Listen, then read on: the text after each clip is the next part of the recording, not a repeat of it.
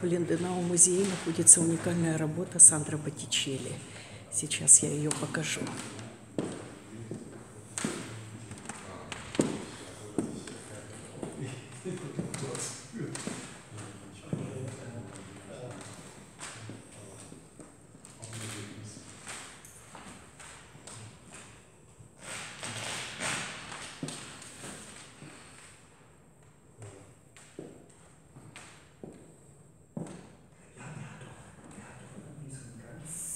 Сандра Боттичелли.